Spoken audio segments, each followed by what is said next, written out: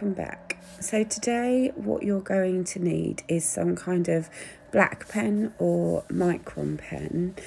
Um, you're going to need a lightbox or the Trace Table app if you've got some kind of tablet. Now I've pre-prepared bits for this, which is um, pieces of um, plain string that I um, used watercolour to pre-paint and let dry um, prior to using them.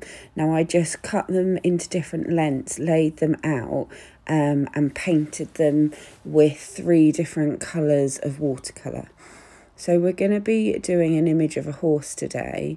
Now the hair is going to be created by the string. So what we're going to first need to do is trace the um, horse's head into the Bible.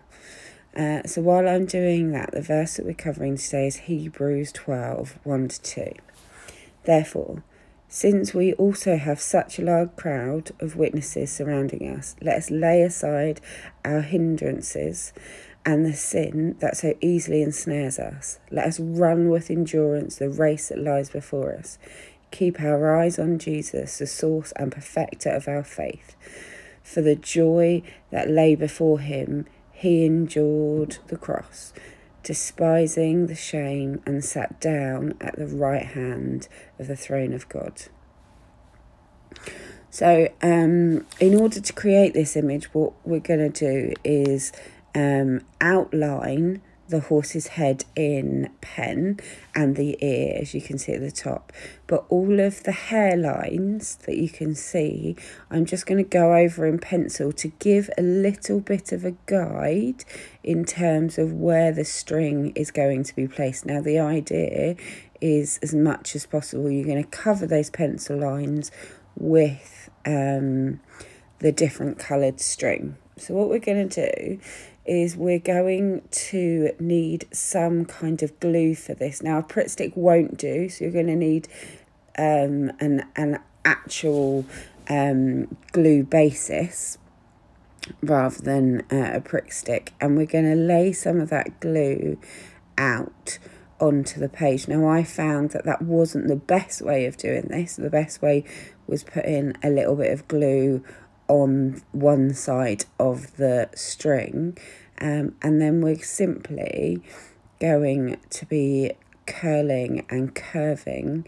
um, the string into different directions to give it the effect of um, the hair blowing in the wind. Now, if you um, tip a little bit of um, glue out onto a page and hold both sides of that glue um, and try and um, place um, one side of it very lightly into the glue. It will give you a basis in which to stick. Now I've got um, a wooden stick that you can see that I use. Now that's really helpful for just adding a little bit of glue to the tip or the end um, if there seems to have not been very much that has been caught. Now, this is a really simple Bible page because it's literally um, creating the hair in whichever way um, you want it to look. So once you've pre-prepared this page, it's a really simple page. It does take quite some time to then uh, do this section. I think this bit took me about 40 minutes um, to do from start to finish. Now, um, I jumped around going from um, top to bottom um, and then into the middle again. I'd recommend not doing what I'm doing here and going for the bottom. So if you start at the top and go all the way th through to the bottom, it means you don't have middle pieces that um, then need to be filled in, but that wasn't too much of an issue. So um, just have fun and just create. So I think the reason why I picked Hebrews verses 1 to 2 because it was just that running with endurance. I guess we've talked about this before, but sometimes life can be quite tricky, and I think. Um, I think sometimes people have a misconception that a life of faith and a life with knowing God um, is easier. Uh, and I would sort of challenge that and say, I don't think it's necessarily been that way for me or been um, my experience. I think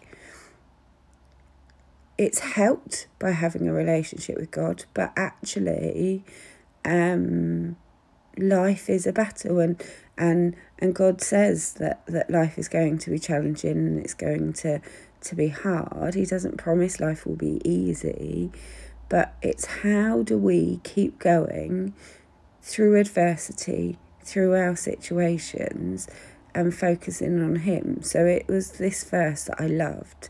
Let us run with endurance the race that lies before us it can be so hard, ladies, when you feel like life is a, a continued stream of challenges and battles in, in which we have to face. And I think it's just remembering that that you do have the strength of a powerful and an incredible God and Father and actually it's knowing that we're doing that together that helps me. It is tough and, and and it may be hard, but actually doing it together and doing it with somebody um, makes a huge, huge amount of difference for me.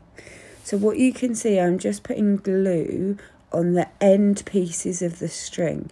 Now, this was because I wanted to avoid the string fraying um, once the page was complete and in our Bible. Don't worry about the string that's gone over the page because you're simply going to cut that off. Um, Kerry's now going to call us into prayer. Therefore, since we are surrounded by such a great cloud of witnesses, let us throw off everything that hinders and the sin that so easily entangles, and let us run with perseverance the race marked out for us, fixing our eyes on Jesus the pioneer and perfecter of faith, for the joy set before him, he endured the cross, scorning its shame, and sat down at the right hand of the throne of God. Lord, I thank you that you were prepared to go to the cross in our stead. I thank you that you love us for who we are. And you love us too much to let us stay as we are. That our goal is like reaching for the stars. It is a journey that you take us on. You are the perfecter of our faith. And Lord, I pray for the perseverance that is required in our daily struggles. And Lord, I am reminded of the fact that because of the joy of the resurrection, you endured the cross, scorning its shame, so that you could sit at the right hand of the Father. And Lord, I pray this day that we would set down our shame because you have paid the price. You have paid for our shame. You have paid for our guilt. And Lord, allow us to use the courage to let go of our past so that what we might be new creations in Jesus Christ. Amen. Happy Friday, everyone. Have a great day.